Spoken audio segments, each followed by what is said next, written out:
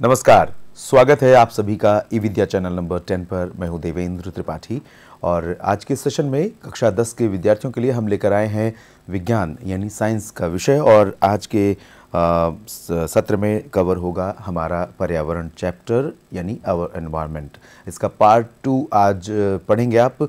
Part one में आपने क्या पढ़ा था और क्या पढ़ाया गया था, इसको रिकैप भी करेंगे। और ये बहुत इंपॉर्टेंट और बहुत व्यापक चैप्टर है, बहुत व्यापक टॉपिक है। इसमें बहुत सारी चीज़ें कवर होती हैं। तो इकोसिस्टम से लेकर ओजोन लेयर तक और वेस्ट टू वेल्थ तक बहुत सारी चीज़ें कवर होंगी। तो हम पढ़ेंगे। और ये जो टॉपिक है, ये पार्ट है, पढ़ाने के लिए हमारे साथ जुड़ चुके हैं आज के एक्सपर्ट उनका परिचय आपसे करवाते हैं। हमारे साथ हैं सुशील कुमार सर, जो कि पीजीटी केंद्रीय विद्यालय संगठन इंडियन एम्बेसी काठमांडू नेपाल में सर आपका बहुत बहुत अभिनंदन। स्वागत है हमारे आज के सेशन में। धन्यवाद देवेंद्र जी और सभी बच्चों का भी बहुत बहुत धन्यवाद जो आज हमारे इस सेशन में जुड़ चुके हैं। जी और हम अपने दर्शकों को बता दें कि आप हमारा सत्र न सिर्फ़ ई विद्या पर देखते हैं बल्कि N C official YouTube channel पर भी हमारे सत्र लाइव अवेलेबल होते हैं। तो यहाँ पर भी आप देख सकते हैं और साथ ही साथ आपको हम बता दें कि आप फ़ोन नंबर के ज़रिए अपनी प्रतिक्रिया या अपने सवाल हम तक पोस्ट कर सकते हैं सेशन के दौरान और ये प्रश्न हम अपने एक्सपर्ट से पूछेंगे और फ़ोन नंबर आपकी स्क्रीन पर दिख रहा है double eight double zero double four zero double five nine इसके अलावा ईमेल एड्रेस के माध्यम से भी आप हमें अपनी क्वेरीज़ या क्वेश्चन आप हमें लिख सकते हैं। You can write us on D T S dot class ten at the rate C I T dot N I C dot I N तो ये सारी इन्फॉर्मेशन रही आपके लिए। इंटरेक्टिव लाइव सेशन के दौरान आपको कनेक्ट रहने के लिए, आपके जुड़े रहने के लिए। अब चलते हैं अपने एक्सपर्ट के पास और सर से आग्रह ये करूँगा मैं कि पहले पार्ट में क्या पढ़ाया था और एनवायरनमेंट से बच्चों को क्या समझ में आया था, एक बार रिकैप करेंगे, उसके बाद पार्ट टू में आज का टॉपिक आज के पॉइंट्स कवर होंगे। सर बिल्कुल बिल्कुल। धन्यवाद sir dear students in the previous session we have discussed a lot about the what is ecosystem uh, you all are well aware that all the interacting organisms in an area together with the non-living constituent are known as ecosystem. And uh, the there are so many type of the ecosystem we have discussed uh, like the natural ecosystem like the artificial ecosystem as well as we have also discovered dis, uh, discussed with you that uh, there are the two component in the ecosystem. One is known as biotic component and another is abiotic component. So as uh, we have also discovered that uh, in an ecosystem, we people are interacting with each other uh, to the uh, our surrounding organism as well as uh, surrounding uh, non-living things also that make our ecosystem more sustainable, more viable. हम कह सकते हैं कि हम अपने ecosystem से बहुत सारी चीज़ों को लेते हैं, साथ में अपनी बहुत सारी चीज़ों को एक्सचेंज करते हैं। हम लोग ने चर्चा की थी कि किसी भी इकोसिस्टम में बहुत सारे कंपोनेंट होते हैं बायोटेक कंपोनेंट के अंतर्गत चर्चा की थी कि सन से जो लाइट गिरती है उससे हमारे ग्रीन प्लांट्स उसे कैप्चर करके भोजन बनाते हैं, जिन्हें हम प्रोड्यूसर कहते हैं। और प्रोड्यूसर कहीं ना कहीं से कंज्यूमर से जुड़े रहते हैं, अर्थात कंज्यूमर प्रोड्यूसर को खाते हैं प्रोड्यूसर से एनर्जी प्राप्त करते हैं और कंज्यूमर में भी प्राइमरी कंज्यूमर सेकेंडरी कंज्यूमर और टर्सरी कंज्यूमर में इस प्रकार से एनर्जी का ट्रांसफ़र होता है।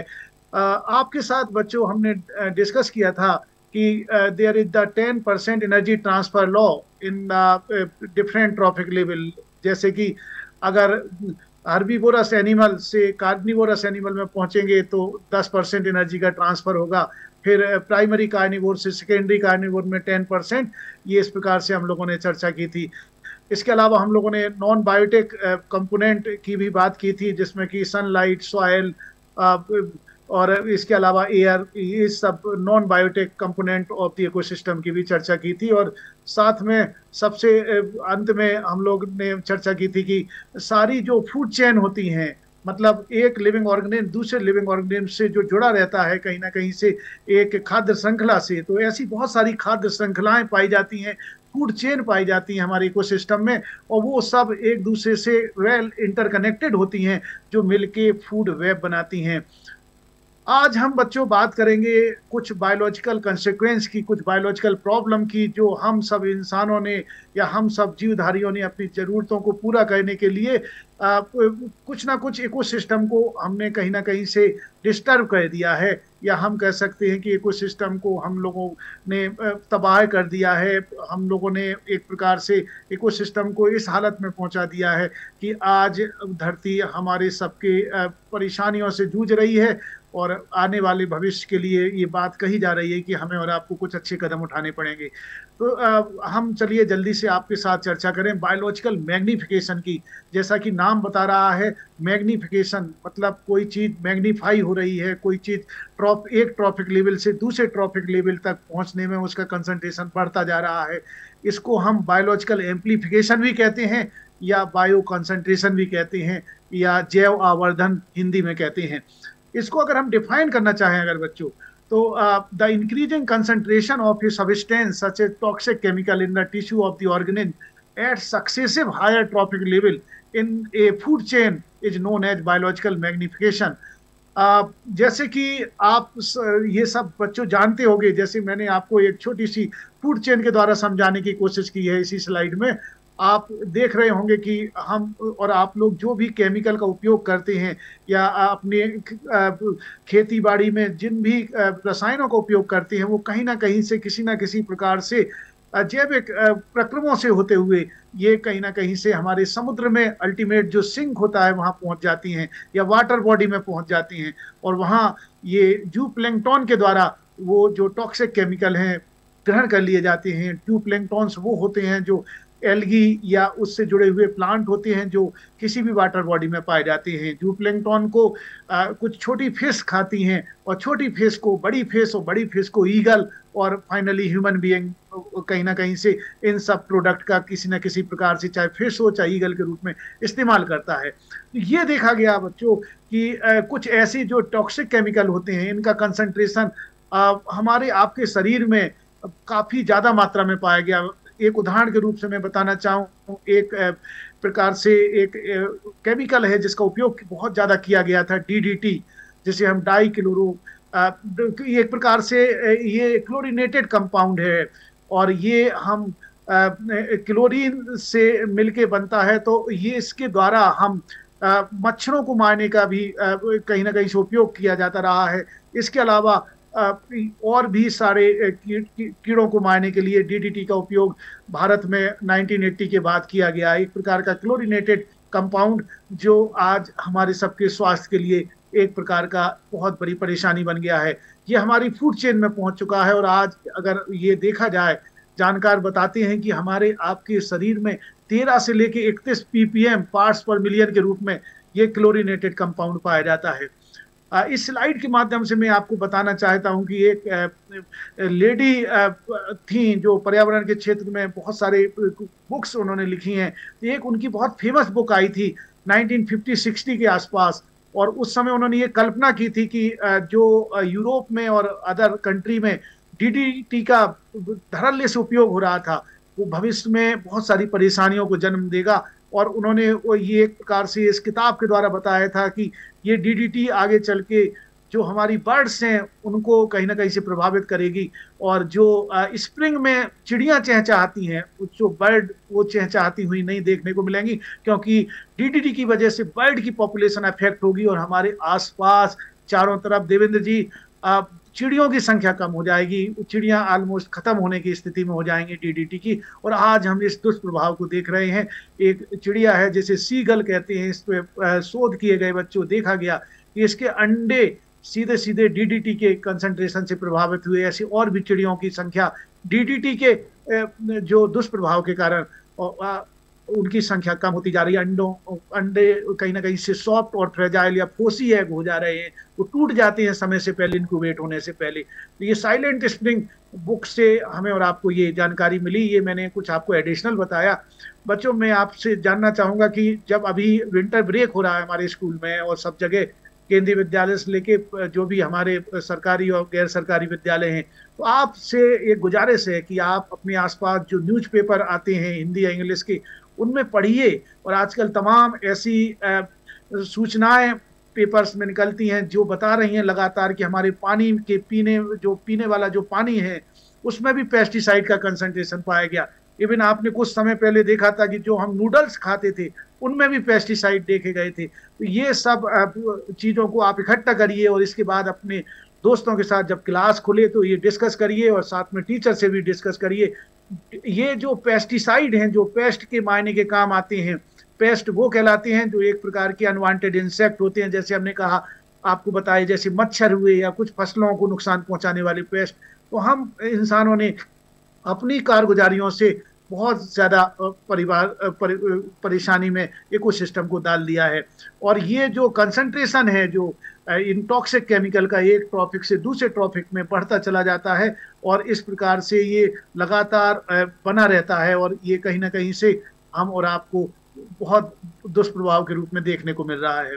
एक और पर्यावरणीय घटना के बारे में बताना चाहेंगे बच्चों जिसे हम कहते हैं ओजोन लेयर डिप्लीशन मतलब ओजोन की जो परत है जो ओजोन की जो छतरी है जो आ, अभी हम आपको बताएँगे कि ये ओजोन की परत लगभग यहाँ से जिस धरती पर जिस लेयर पर हम रह रहे हैं इससे 50 किलोमीटर ऊपर स्टेटोस्फीयर रीजन में पाई जाती है। और हम सब इंसानों की कुछ करतूतों से या हम सब इंसानों के कुछ कार्यों से इस ओजोन की परत में कहीं ना कहीं से नुकसान हुआ है और वो पतली होती जा रही है। ओजोन का जो कंसंट्रेशन हम डॉप्सन यूनिट में नापते हैं वो कम कम डॉप्सन मोटाई की ओजोन देखने को मिल रही है स्टेटोस्फियर रीजन में। तो ओजोन एक मॉलिक्यूल होता है, आप सब जानते होंगे। ऑक्सीजन का ये एलोट्रॉप होता है और ये नेचुरली बनता है। अल्ट्रावायलेट रेडिएशन की प्रेजेंस में जब मोलिकुलर ऑक्सीजन पर एक ऑक्सीजन एटम जुड़ता है तो अल्ट्रावायलेट रेडिएशन के प्रभाव से ये ओजोन का एक मॉलिक्यूल बनता है। और इस प्रकार से ये ओजोन हमें और आपके जो स्टेटोस्फियर रीजन है, उस पर ये एक छतरी के रूप में हमें और आपको बचाने का काम करती है। जैसे कि हम जिस लेयर पर रह रहे हैं, जिस स्ट्रेटा पर रह रहे हैं, उसे ट्रोपोस्फियर कहते हैं और उससे लगभग 40-50 किलोमीटर की ऊंचाई पर अगर हम देखें तो ट्रोपोस्फियर के बाद स्टेटोस्फियर आता है। स्टेटोस्फियर के बाद फिर मीजो थर्मोस्फियर और फिर ये सब पूरे को हम एटमोस्फियर कह सकते हैं। तो स्टेटोस्फियर पर बच्चों, जो ओजोन की परत हमें और आपको तमाम प्रकार की रेडिएशन से बचाती थी, उस ओजोन की परत में कहीं ना कहीं से जो ओजोन की लेयर है, उसकी थिकनेस कम होती जा रही है। या हम कह सकते हैं कि thinning of the ozone layer हो रही है, या हम कह सकते हैं कि ओजोन का होल जो सामान्य भाषा में कहा जाता है। अब सवाल उठता है कि ये ओजोन का जो परत है, ये क्यों टूट रही है? क्यों डिप्लीशन हो रहा है ओजोन का? तो जब वैज्ञानिकों ने इस पर शोध किया, देखा तो पाया कि जो एटमॉस्फेयर में कुछ केमिकल्स होते हैं, जो हम और आप इंसान अपनी रोज़मर्रा की जो जरूरतों को पूरा करने के लिए उन रसायनों का उपयोग कहीं ना कहीं से करते हैं। जैसे एक रसायन होता है, जिसे हम क्लोरोफ्लोरोकार्बन या सीएफसी कहते हैं। पुराने समय में ये रेफ्रिजरेंट यूनिट में यूज़ होता था। इसके अलावा आग बुझाने वाले अर्थात फायर एक्सटिंग्विशर्स में यूज़ होता था। लेकिन अब आज की डेट में तो बहुत हद तक इन क्लोरोफ्लोरोकार्बन जो ये केमिकल हैं, इनके रिप्लेसमेंट के तौर पर ओजोन फ्रेंडली केमिकल का इस्तेमाल होने लगा है। लेकिन फिर भी जो पुरानी रेफ्रिजरेशन यूनिट हैं, जब वो ख़राब होती हैं, उनको रिपेयर किया जाता है तो ये क्लोरोफ्लोरोकार्बन एटमॉस्फेयर में निकलता है और ये कहीं ना कहीं से जाके जो स्टेटोस्फियर रीजन में ओजोन की जो परत है ओजोन की जो छतरी है ओजोन की जो लेयर है, उसको तोड़ती है और इसके कारण ओजोन की परत दिन पर दिन पतली होती जा रही है। इसके जो क्या क्या कंसिक्वेंस होते हैं, इसके क्या हार्मफुल इफ़ेक्ट हैं, ये हम अभी आपको बताने जा रहे हैं। तो आपको बच्चों, सबसे पहले ये जानना है, आपसे परीक्षा में ये भी पूछा जाता है कि वो कौन कौन से सोर्सेस हैं जहाँ पर क्लोरोफ्लोरोकार्बन पाया जाता है हम और आप लोग उपयोग करते हैं। जैसे बहुत सारे क्लीनिंग सॉल्वेंट होते हैं, जो कपड़ों को धोने के काम आते हैं या और चीज़ों को तो वो क्लीनिंग सॉल्वेंट में भी क्लोरोफ्लोरोकार्बन पाया जाता है। एरोसॉल्स में पाया जाता है, बहुत सारे डिओड्रेंट में भी उपयोग किया जाता है। आपने देखा होगा कुछ विशेष प्रकार के जो प्लास्टिक के, की तरह लगने वाले पैकिंग मटेरियल होते हैं, जैसे स्टाइरोफोम के जो दोने या पत्तल या बनी हुई आर्टिकल्स होती हैं, उसके बनाने में भी क्लोरोफ्लोरोकार्बन का इस्तेमाल होता है। एनेस्थेटिक एजेंट के रूप में अर्थात ये कहीं ना कहीं से बेहोशी कहने वाली दवाओं के रूप में भी उपयोग होता है और other uses in asthma and angina के पेशेंट के ट्रीटमेंट में भी इन सब का उपयोग होता है। तो ये इतनी जगह क्लोरोफ्लोरोकार्बन का उपयोग किया जाता था, लेकिन अब बहुत सा जब से पता चला है कि ये क्लोरोफ्लोरोकार्बन जो होते हैं, ये अल्ट्रावायलेट रेडिएशन की प्रेजेंस में ये टूटते हैं और इससे क्लोरीन फ्री रेडिकल निकलता है, जैसा कि आप इस स्लाइड में देख पा रहे होंगे बच्चों। और ये एक क्लोरीन फ्री फ्री रेडिकल जाके एक लाख ओजोन के मॉलिक्यूल को तोड़ देता है। देखिए, एक क्लोरीन फ्री रेडिकल जो कि हम सबकी एंथ्रोपोजेनिक एक्टिविटी से, क्लोरोफ्लोरोकार्बन से युक्त केमिकल्स का इस्तेमाल करने से ये जब ये हमारे एटमॉस्फेयर में बाहर निकलते हैं तो ये ओजोन की परत को तोड़ देते हैं और इसके कारण ये जो कुदरत की जो नीली छतरी है, जो हमें और आपको सदियों से बचाती आ रही है, तमाम प्रकार की परेशानियों से पेड़ पौधे जीव जंतुओं को, वो कहीं ना कहीं से छिन्न भिन्न हो रही है बच्चों। अब सवाल उठता है कि इफ़ेक्ट ऑफ़ ओजोन डिप्लीशन से क्या क्या आपको और मेरे ऊपर क्या क्या इफ़ेक्ट होगा? पहली बात तो आप सब लोग सुन रहे होंगे कि क्लोरोफ्लोरोकार्बन एक प्रकार की ग्रीन हाउस गैस है, जो कि धरती का तापमान बढ़ाने के लिए जिम्मेवार मानी जा रही अर्थात आज हमारी आपकी धरती में टेम्परेचर जो एवरेज टेम्परेचर था, वो लगभग बढ़ रहा है, एक से दो डिग्री के आसपास, जो एक से अभी 1.2 तक बढ़ गया है और वैज्ञानिक इसको 1.5 के अंदर ही रोकना चाहते हैं। तो इस फिनोमना को हम कहते हैं ग्लोबल वार्मिंग और अर्थात हम कह सकते धरती को बुखार आ रहा है, उसके पीछे ये ग्रीन हाउस गैस है, क्लोरोफ्लोरोकार्बन।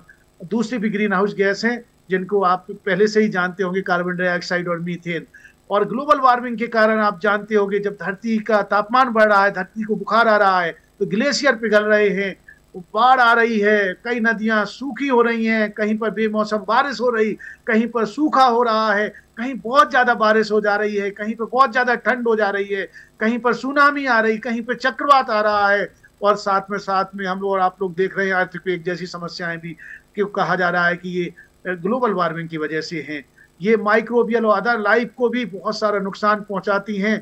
क्रॉप, फॉरेस्ट और वेजिटेशन का नुकसान होता है और एक्वेटिक सिस्टम बहुत बुरी तरह से प्रभावित होता है और बैलेंस है जो एटमॉस्फेयर का, जो, वो भी गड़बड़ाता है क्योंकि कहीं ना कहीं से जब क्लोरिनेटेड कंपाउंड के रूप में क्लोरोफ्लोरोकार्बन और ये जो खतरनाक गैस का कंसंट्रेशन बढ़ता है एटमॉस्फेयर में तो। हमारे आपके स्वास्थ्य पर क्या प्रभाव पड़ता है? आप देख पा रहे होंगे पिक्चर के माध्यम से बच्चों जब ये नीली छतरी जो हमें और आपको अल्ट्रावायलेट रेडिएशन से जो हमारी आपकी स्किन पर जब गिरते हैं तो कहीं से हमारी स्किन पर डैमेज कर सकते हैं या हमारी स्किन पर स्किन कैंसर हो सकता है या हमारी आँखें में जो लेंस है वो ओपेक हो सकता है या वो डैमेज हो सकता है या कैटरेक्ट अर्थात मोतियाबिंद जैसी समस्याएँ हो सकती हैं। हमारा आपका इम्यून सिस्टम अर्थात रोग प्रतिरोधक क्षमता, जो रोगों से लड़ने वाली क्षमता है, वो कहीं ना कहीं से प्रभावित हो सकती है। हमारी आपकी कुल मिला के हेल्थ प्रभावित हो सकती है। हमारी आँखों में इरिटेशन हो सकता है। इसके अलावा हमें और आपको खांसी रिस्पायरेटरी इलनेस इसके अलावा respiratory related other illness like bronchitis और अस्थमा जैसी प्रॉब्लम भी पॉल्यूशन के कारण हो सकती हैं स्किन एजिंग और डिसऑर्डर अर्थात समय से पहले झुर्रियाँ आ सकती हैं या हम कह सकते बुढ़ापा आ सकता है।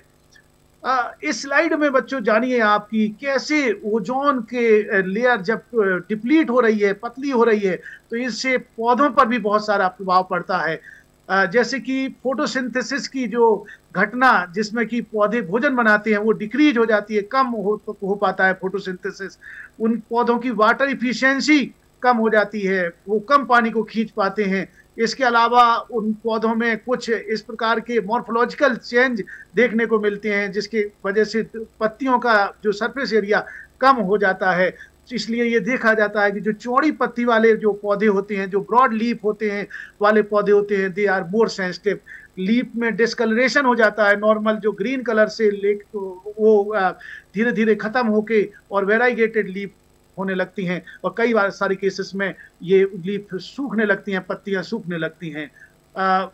कुल मिला के आप हमारे आसपास जो मॉन्यूमेंट या हेरिटेज वाली जो बिल्डिंग्स पाई जाती हैं या जो हमारे घर के आसपास जो हम और आप लोग जो मटेरियल यूज़ करते हैं, वो भी सीधे सीधे ओजोन डिप्लीशन से प्रभावित होती है। क्योंकि जब ओजोन की परत पतली होती है या ओजोन की परत से जब अल्ट्रावायलेट रेडिएशन पास होके हमारी धरती पर आता है तो ये कहीं ना कहीं से जाके हमारे अलग अलग हेरिटेज वाली जो बिल्डिंग्स हैं और मटेरियल हैं, उनकी चमक को फीका करती है, उनके उनके साथ रिएक्ट करके कहीं ना कहीं से उन्हें को भी प्रभावित करती है। ये बहुत ही एक समकालीन, बहुत ही सीरियस समस्या है, जो इस समय की एक सच्चाई है कि हम इंसानों ने अपनी बेहतरी के लिए कुछ ऐसे कदम उठाए जिससे कि आज हमने अपने इकोसिस्टम को खतरे में डाल दिया है। बच्चों, अब आपके मन में ये बात उठ रही होगी कि अभी तक मैंने आपको एक प्रकार से इस प्रकार का एक डर का वातावरण पैदा कर दिया कि ओजोन की परत अर्थात जो धरती की कुदरती नीली छतरी है, जो 50 किलोमीटर के ऊपर है हमारे इससे ऊपर, उसमें धीरे धीरे डिप्लीशन हो रहा है, पतली हो रही है, जिसके बाद अल्ट्रावायलेट रेडिएशन न केवल मुझे, आपको, बल्कि पेड़ पौधे और जीव जंतुओं और माइक्रोबियल लाइफ के साथ साथ हमारे आसपास पाए जाने वाली बिल्डिंग्स और अलग मॉन्यूमेंट्स को भी प्रभावित कर रही है। तो अब सवाल उठता है कि हम ओजोन डिप्लीशन को कैसे कंट्रोल करें? तो Devendra ji there are some ways by which we can control the ozone depletion, like optimise use of the agrochemical मतलब हम जो एग्रोकेमिकल का इस्तेमाल करते हैं, जो तमाम प्रकार के खेती में यूज़ होने वाले केमिकल हैं, उनको हमको उतना ही इस्तेमाल करना है जितनी ज़रूरत है। इसके अलावा हमें सल्फ़र जो इंडस्ट्री से निकलता है, जो हम और आप लोग सल्फ़र तमाम प्रकार की जो उद्योग धंधे हैं, उनसे सल्फ़र निकलता है उसको भी हम रोक सकते हैं। व्हीकुलर इमिशन जो कि गाड़ियों से धुआँ निकलता है, उसको भी हम चेक कर सकते हैं। अर्थात हम ई व्हीकल की तरफ़ जा सकते हैं या पब्लिक ट्रांसपोर्ट का उपयोग कर सकते हैं। या क्लोरो क्लोरोफ्लोरोकार्बन के अल्टरनेटिव बहुत सारे आजकल उपयोग हैं। में, हम और आप लोग उपयोग करने लगे हैं और आजकल मार्केट में उपलब्ध हैं। तो हम उन अल्टरनेटिव का भी इस्तेमाल कर सकते हैं।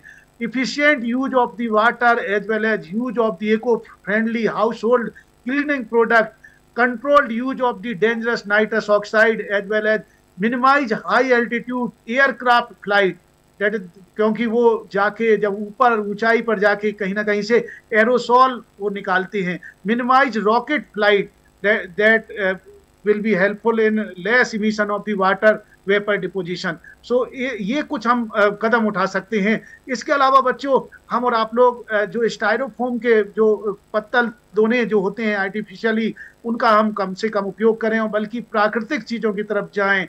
प्रकृति में जो एक प्रकार की कंसेप्ट है रिड्यूस यूज़ एंड रिफ्यूज वाली जो कंसेप्ट है, उसको करें और सर्कुलर इकोनॉमी को एडॉप्ट करें, चीज़ों को बार बार उपयोग करें। बच्चों, आपके साथ मैं अभी विंटर ब्रेक में एक एक्टिविटी आपको देने जा रहा हूँ। एक्टिविटी में आप लाइब्रेरी इंटरनेट या अपने आसपास जो न्यूज़पेपर आते हैं, उनको इकट्ठा करिए और देखिए कि वो कौन से केमिकल हैं जो depletion of the ozone layer के लिए रिस्पॉन्सिबल हैं और उसके द्वारा आप ये जानने का में सफल हो पाएँगे। कि हम और आप लोग किस प्रकार से अच्छी एक स्वस्थ, नीली छतरी अर्थात ओजोन की परत को भविष्य में रिस्टोर करने में हम सफल हो पाएँगे और आने वाली पीढ़ी को एक अच्छी धरती दे पाएँगे। बच्चों, हम पूरी दुनिया में पाँच जून को वर्ल्ड एनवायरनमेंट डे सेलिब्रेट करते हैं। यह वह दिन होता है जब हम लोग प्रतिज्ञा करते हैं कि हम अपनी ऐसी एक्टिविटीज़ करेंगे, ऐसे हम कार्यकलाप करेंगे जिससे हम धरती का भला करेंगे, जल, जंगल, ज़मीन का भला करेंगे। ये दिन हमें और आपको जगाते हैं, हमें आपको चेताते हैं, हमें आपको अच्छे काम करने की प्रेरणा देते हैं। 16 सितंबर को स्कूली कॉलेजों में और आसपास जो भी आम लोगों के बीच में इंटरनेशनल ओजोन डे मनाया जाता है। ये दिन हमें और आपको कहीं ना कहीं से सेंसिटाइज करता है कि ये धरती की अनमोल नीली छतरी को हमें और आपको बचाना है तो हमें और आपको कुछ सेक्रीफाइस करने पड़ेंगे, कुछ कंप्रोमाइज करने पड़ेंगे। अपने जीवन में ओजोन फ्रेंडली सबिस्टेंस का उपयोग करना पड़ेगा और ओजोन को जो डिप्लीट करने वाले सबिस्टेंस हैं, उनको टाटा बाय बाय कहना पड़ेगा। बच्चों, सबसे लास्ट में मैं आपको बताना चाहूँगा कि गार्बेज क्या होता है। आप सब लोग जानते हो कि हम और आप लोग अपने आसपास जो भी कार्य करते हैं, अपने दैनिक कार्यों के दौरान बहुत सारा कप, कचरा trash material waste material unwanted used byproduct हम और आपके आसपास बचते हैं और उनको हम लोग अपने डस्टबिन में रखते हैं और उसको हम कहीं ना कहीं से इस्तेमाल करते हैं। तो कुछ तो ऐसा होता है कि जो आजकल देखा होगा गीला कचरा और सूखा कचरा, इसको हम अलग अलग रख सकते हैं। किचन वेस्ट जो हमारा आपका घर से निकलता है, वेजिटेबल वेस्ट, इससे हम खाद बना सकते हैं, फ्रूट पील से खाद बना सकते हैं, स्पॉइल्ड फ़ूड से खाद बना सकते हैं। मतलब ये बायोडिग्रेडेबल हैं, ये हमारे नेचर में डिग्रेड हो सकते हैं। Animal waste waste paper, dried leaf लेकिन दूसरी तरफ़ वो कचरा जो कि हम और आप लोग तो इस धरती पर रहेंगे ही, लेकिन हम और आप लोग भी चले जाएँगे। लगभग आठ अरब लोग आज पूरी धरती पर रह रहे हैं, वो सब चले जाएँगे। मतलब उनका जीवन खत्म हो जाएगा, लेकिन प्लास्टिक रूपी कचरा, ये हमारी धरती पर बना रहेगा। अर्थात ये सालों सालों रहता है, लगभग 400 साल तक ऐसे ही बना रहता है। तो हमें और आपको अगर देखा जाए तो जो गार्बेज होता है, जो कचरा होता है, उसको हम दो श्रेणी में डिवाइड कर सकते हैं। एक कैटेगरी कहलाती है बायोडिग्रेडेबल वेस्ट और दूसरी कहलाती है non biodegradable waste biodegradable waste वो होते हैं that are broken down by the biological process, by the various microbes, by the process of decomposition bacteria और फंगस एक्शन में आते हैं और उन सबस्टेंस को तोड़ के मिट्टी का भाग बना देते हैं। दूसरी तरफ़ नॉन बायोडिग्रेडेबल सबस्टेंस वो सबस्टेंस होते हैं that can not be broken down by enzyme action and these are called non-biodegradable substance. And these substance remain in the atmosphere जब हम हम for throughout the year मतलब 100 200 400 सालों तक भी रह सकते हैं। बच्चों स्कूल ही बच्चे सबसे बड़े चेंज मेकर होते हैं।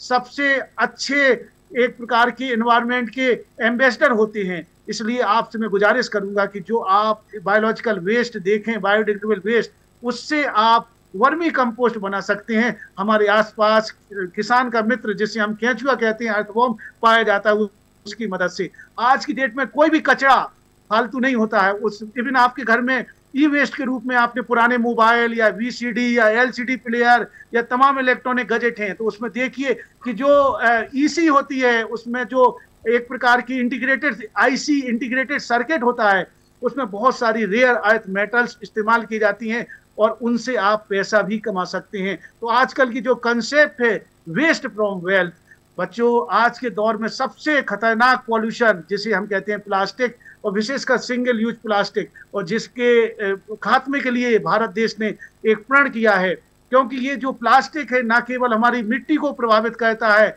हमारे समुद्र, नदियों और हमारे पूरे इकोसिस्टम को तबाह कर रहा है, क्योंकि ये एज सच कई सालों तक डला रहता है, और हमारे आपके लिए ही नहीं, ये सारे जीवधारियों के लिए परेशानी का सबब बन जा रहा है।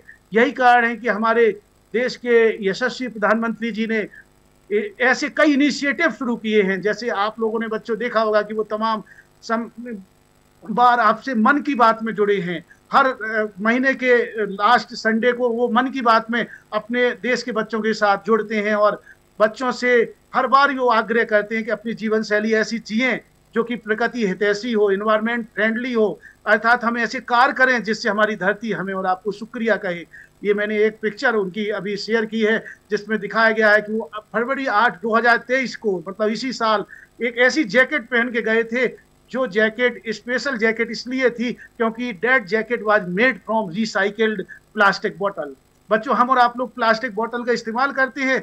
आज इन प्लास्टिक बोतल को सिंगल यूज़ वाली प्लास्टिक बोतल को टाटा बाय बाय कह सकते हैं आप। गिलास की बनी हुई या फिर आ, मेटल की बनी हुई या बम्बू जो बाँस की बोतल आजकल बहुत ज़्यादा चलन में है। हमारे नॉर्थ ईस्ट का एक बहुत अच्छा प्रोडक्ट है ये बेम्बू और बेम्बू के द्वारा ये अलग अलग मटेरियल आज हम और आप लोग उपयोग कर रहे हैं। और केंद्रीय माध्यमिक शिक्षा बोर्ड जिसे हम सीबीएसई कहते हैं ऐसी बहुत सारी एक्टिविटी जो www.indian government scheme dot com पर आप जाके कर सकते हैं जिसमें से एक बहुत अच्छी एक्टिविटी है जैसे mission life dated lifestyle for environment कुल मिला के बच्चों आज मैं आपसे प्रण चाहूँगा आपसे मेरी जो बात सर, हो रही है कमी है एनसीआरटी ऑफिशियल से सर समय की कमी है सेशन को हमें एंड करना पड़ेगा।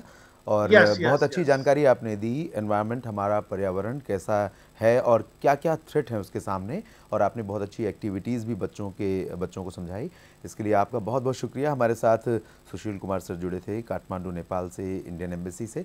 आपका सर बहुत बहुत शुक्रिया इस सेशन में शामिल होने के लिए। धन्यवाद।